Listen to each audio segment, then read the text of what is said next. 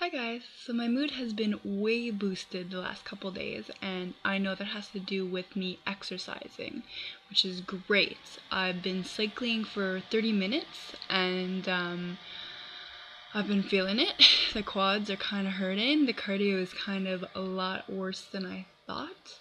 But instead of getting discouraged, I really want to keep building it up because my goal is to be able to cycle 100k consistently all in one shot um, with my boyfriend by the end of summer. So last summer I managed to do a 60k without any prior training, which was quite impressive for me. So I figure if I stick to this, I keep my training regimen going, I eat properly, then I will be able to reach that goal.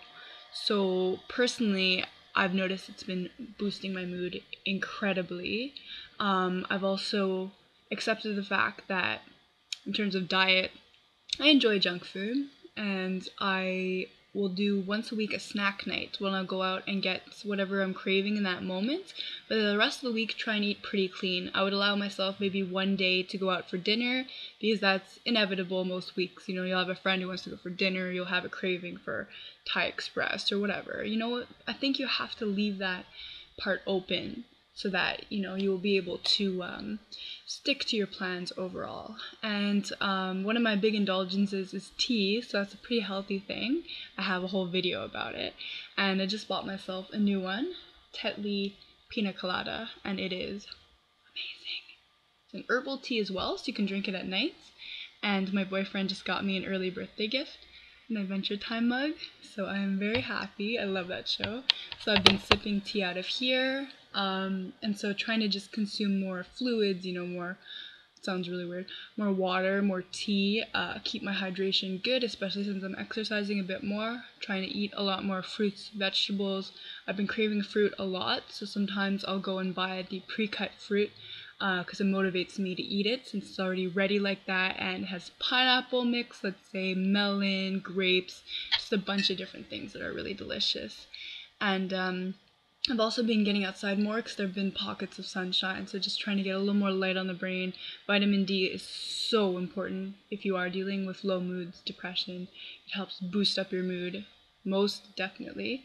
So I got out there and I was reading um, my boyfriend's book, Bike Your Butt Off, and um, just kind of learning how to get starting with, with my cycling routine, um, especially on my own.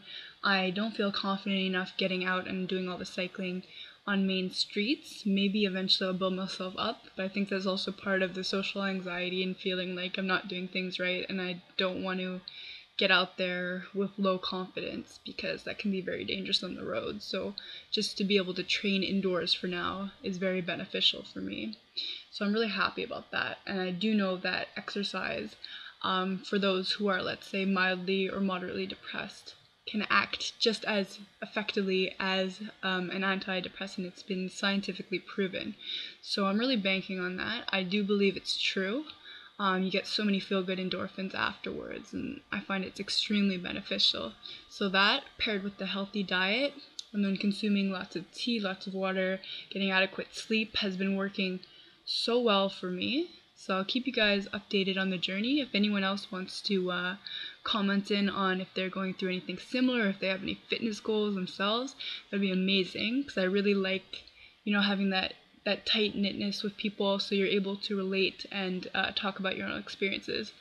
And um, on a very random side note, I noticed that some people from Sweden are watching my videos, and that just excites me. I feel like I'm just I should be from Sweden. I don't know. I'm not, but I should be. it was very random. I think these are the endorphins talking, so I'm gonna go. But um, thanks for listening, guys, and please feel free to subscribe. And uh, I'll keep you guys always updated on my nutrition and um, my fitness. All right, thanks, guys. Bye.